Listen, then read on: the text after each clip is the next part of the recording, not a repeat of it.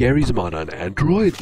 Before you ask how, 99% of people can tap the Soapbanga 10 times before the timer runs out. Anyways, the game is in development, but will soon be released. You can go ahead and subscribe if you want to play. But, have you heard that